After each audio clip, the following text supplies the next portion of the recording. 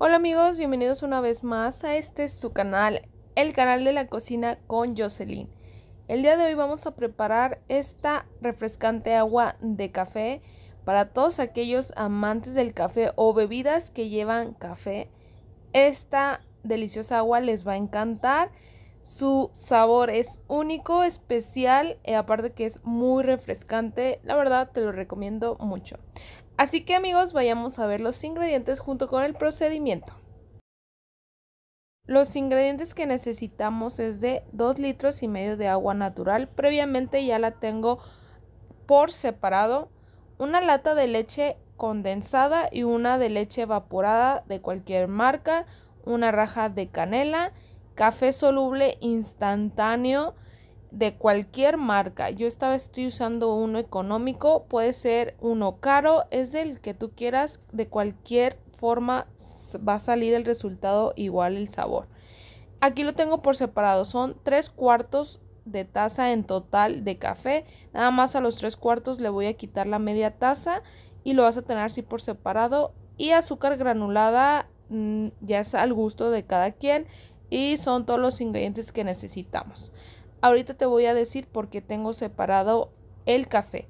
La media taza que saqué de los tres cuartos de taza la voy a, poner en el agua que ya tenía separada, que son los dos litros y medio, y lo voy a mezclar.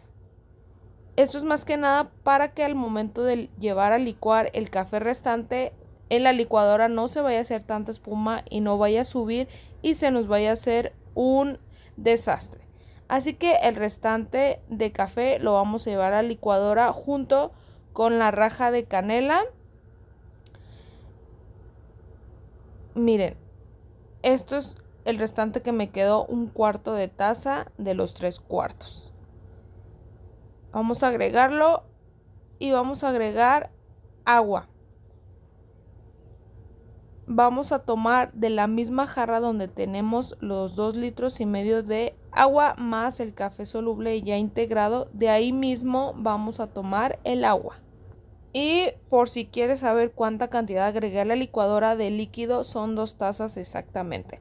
Y esto lo vamos a llevar a licuar perfectamente durante algunos tres minutos si es que no se te hace tanta espuma y se te sube y se hace un desastre. Es por eso que yo al principio hice este paso, vas a decir, oye, pero ¿para qué te complicas tanto la vida separando el café si lo vas a llevar a licuar?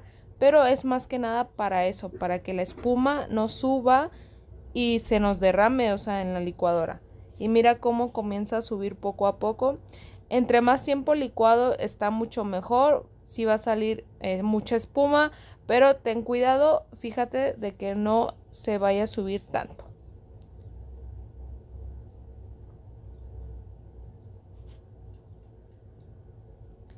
Y listo, ya que está bien licuado, pues es el momento de agregarlo con el agua restante y lo vamos a pasar por una coladera. Eso es más que nada igual para que no se vaya tanta espuma a esta deliciosa agua viste toda la espuma que ha salido.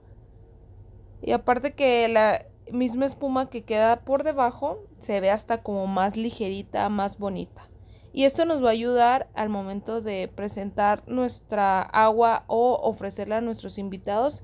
Se va a ver mucho más bonita. Y mira también cómo han quedado los trozos pequeñitos de canela Pero es cuestión de gusto. Si quieres no colarla, también lo puedes hacer para que la canela se vaya y dé mucho más sabor.